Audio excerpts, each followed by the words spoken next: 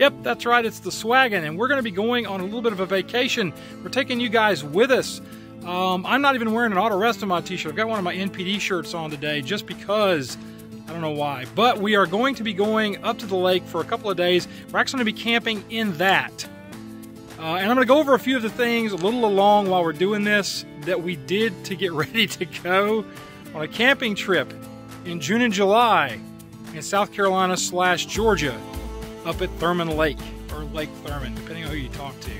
I always knew it as Clarks Hill.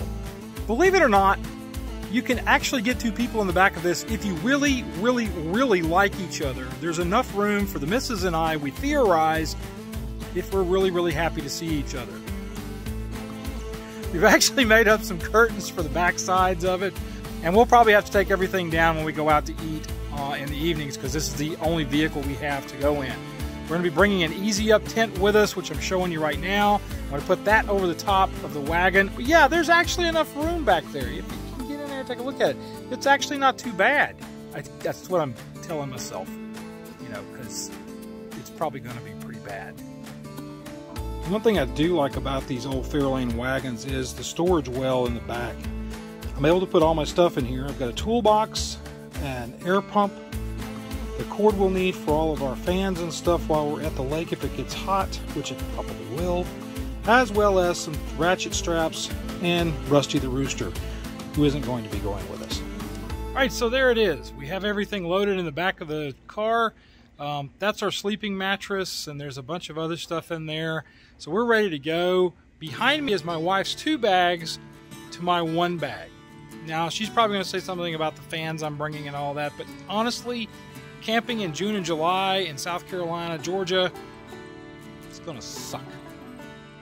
Even with the Easy Up, which is in the car right there.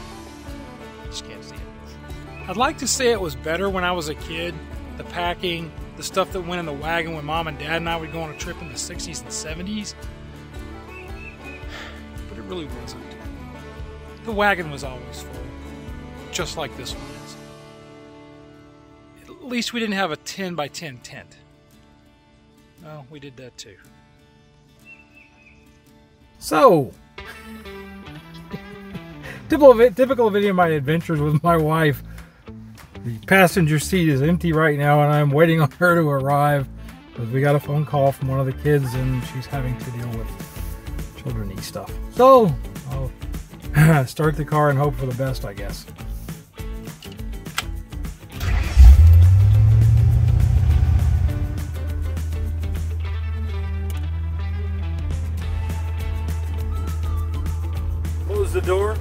Let's ride.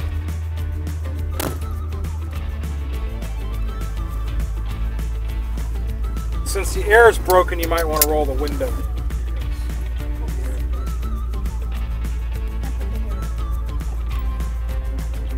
Well, I don't know. We have a pretty good day today. It's not really sunny. Where it's sunny, this could be a lot more miserable of a drive.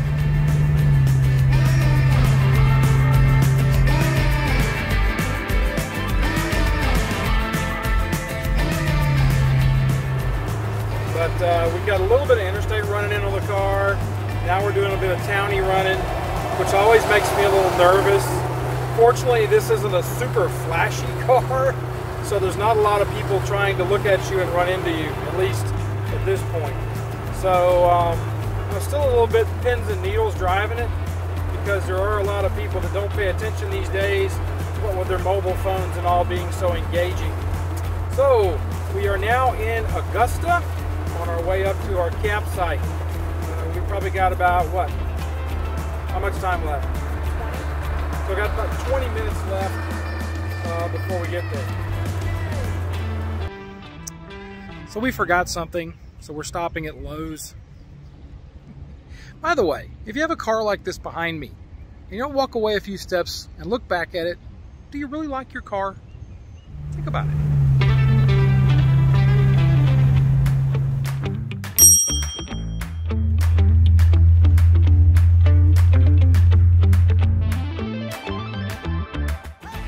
We had to go through the stop. The guy was an older fella from the 60s, so it's kind of cool. He was a Vietnam vet and he uh, recognized the wagon. Thought it was really neat. So it's kind of fun driving something old like this when you're going out.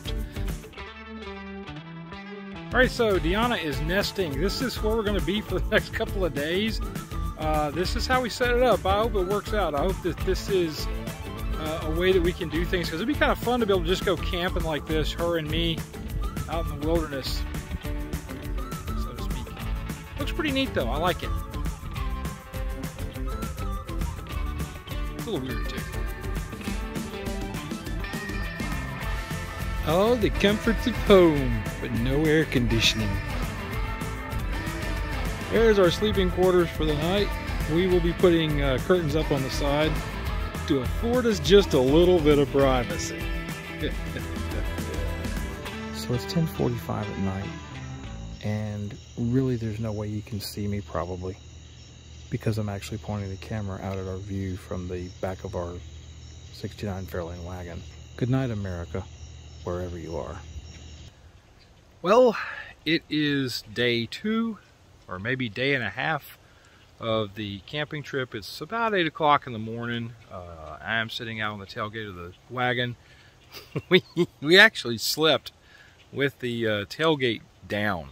So we didn't even use the screen last night. It was just too much of a hassle for me to try to figure out how to get my big, old, broke down butt back into the wagon uh, like this. It would be probably better served in a Suburban. And yeah, I look like somebody's leftover chicken, but um, I didn't bring my razor, so you're going to see me in full regale this next day and a half or so. But we got some pretty neat views this morning. Wind's up a little bit, so it's not super hot. I'm liking this. It's it's nice. I didn't sleep worth a crap in here, though. I will say that. mattress that we got is a little too thin it's a learning experience. And I'm a little worried about the easy up under high winds because these things are notorious for flying. So let's hope it doesn't get too bad today. Well, I noticed the fuel consumption was a little odd and it was starting to burble at idle this morning when we went to go get ice. So I knew we had a possible problem, and it has developed into a full-scale problem. This thing has decided that the float needs to be fixed this week. and specifically today. So that means that Logan is now bringing me parts from Aiken because you can't just go get an O-ring around here for a Holley anymore. The only place it has it is O'Reilly's that I can find locally.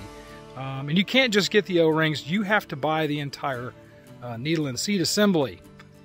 Yay, team!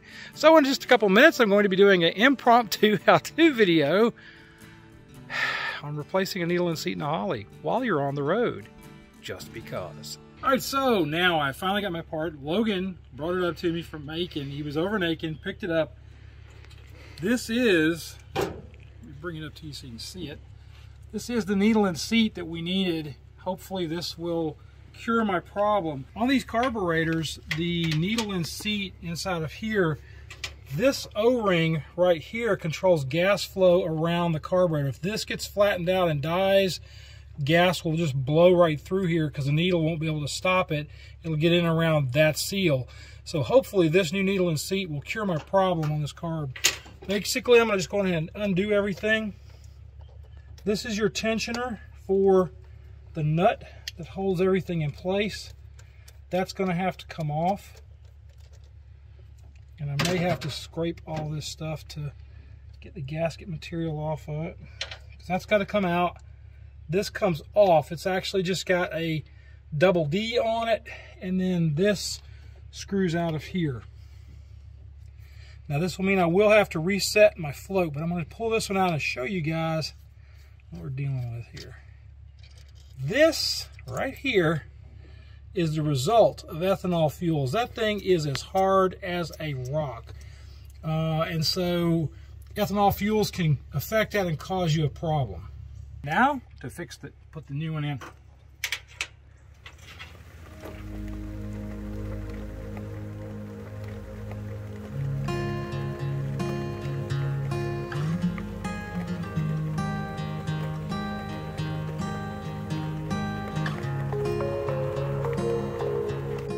Well, it's our last day of camping and uh, it's raining. and our easy up is filling up with water. But it's really cool because we've got our feet hung out the wagon here. Uh, we've got our coffee this morning and it's just, it's nice. It's, it's not bad. The mattress that we got I would give it a solid one and a half out of 10 stars uh, for me because it's just too thin and I'm not able to really sleep the way I should. So probably at some point we'll just get frustrated and head toward the house. Oh, and the uh, the heater and air conditioning system on the car quit. The blower is not blowing, and I think that's probably a battery problem. So see, no matter what, when you go in and working with an old car, you're going to be doing something, no matter where you're at. It's just going to happen. Um, anyway, uh, I'll finish this thing up when we get back to the house because it's really kind of hard to lay here and hold a phone and talk to you guys in this angle. So I'm going to close out in just a minute. I don't know what it's about filming. Got a guy with an ultralight going overhead. Since we shot all this on a mobile phone, I'm finishing up on my mobile for this one. Um, basically, I wanted to go over a couple things that were interesting takeaways from camping in the back of a 69 Fairlane wagon. Uh, one of those things is using the restroom. The problem you have using the restroom with these is you either have to wait till a very dark night and go off into the trees near your campsite, or a better idea would probably be to try to get a campsite closer to the provided restrooms at the place you're going camping because uh, that was an issue. If I needed to go to the restroom in the middle of the night, I had to just go out and take a wee somewhere out in the woods near my camp. And believe me, at campsites anymore, there's not a lot of room for that sort of thing. Another thing is, is it was really hard to go anywhere because we used the Easy Up as part of our uh, tent structure, and I didn't want that thing to blow away because they are re renowned for taking flight uh, when they're not tied down. And I didn't want to bring tent stakes to tie it down because that just seemed like a lot of a pain. I would do that differently. I'm showing you a picture of something we're looking at getting for this wagon that we're going to use on the back of it that's easy to dismantle and take down and put away. And we will probably take the easy up and put it over the picnic table. Next time I'm going to park closer to uh, restrooms had the carburetor problem, but that wasn't a problem because I brought tools. Anytime you're taking an old car and going somewhere, you're going to need to bring your tools with you. It's just a thing. I didn't bring enough because I didn't realize I was going to have that kind of carburetor problem. And I have to question what I just said to a degree because can you indeed take enough stuff? Because what if the distributor had gone bad? What if, what if, what if? You can what if yourself to death. I had fun. I will say that. It was a lot of fun going out Dion and I just taking a break and getting away from everybody for a couple of days was really great. We did have a couple of moments where things got a little dicey with us personally, uh, but I think that's married life. it wasn't bad, but you know, the, the if you're married, you know what I'm talking about with those kind of arguments. Disagreements. She probably won't want me to say argument on video, but that's kind of the things that sometimes happen. And really, that's it. That's where we're at. So that's a, just a weird little video I wanted to shoot for this week because of that. Apparently, the chickens are being molested by something because they're over there making kind of all kind of racket. I don't know if you can hear it or not, but I can. So, do me a favor, go out and check out the Patreon account. At the $10 a month level, you get monthly meetings with me on Zoom. There will be names going up over here. These are the guys who put their money where their mouth is. They actually support us on a financial level to help pay people like Andrew to come in here and also to provide a little bit of money for the kids who come in on Saturdays and work because I find that children learn better when they think they're making some money and they are indeed making some money around here. We also feed them on Saturdays, so that kind of stuff takes a lot of money. If you know anything about feeding teenagers kids can eat like four large pizzas and they're gone within five minutes. If I don't get my two slices initially, I'm not going to get any pizza. Also, do me a favor and subscribe to the channel, please. Click the bell for notification if that's even still a thing on YouTube. Uh, we're working on 100,000 subscribers right now. We want you to be part of that. So just go ahead and subscribe to the channel. Get your friends to subscribe. We're at like 92,000-ish, right at 92 or a little over 92 now. So subscribe to the channel. You can be a part of what we're doing around here. And I am sweating because it's already hot this time of the morning. Finally, folks, do me a favor. Be kind to each other, love on each other, treat each other nice. You guys have a great week. We'll see you next time on Auto Resto Mod. Okay, so would I do this again? Yes, but in the fall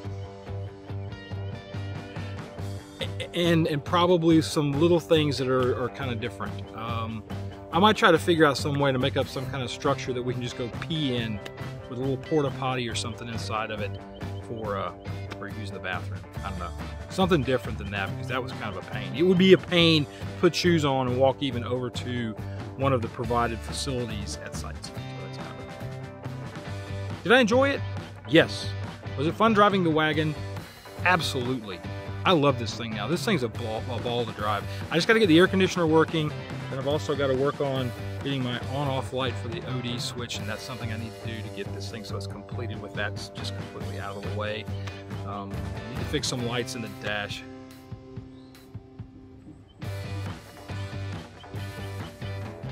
Lots of things that need to be done, but that's the way life is, isn't it? Seems like you get it done. I mean, I gotta put the tailgate on it. I gotta get the.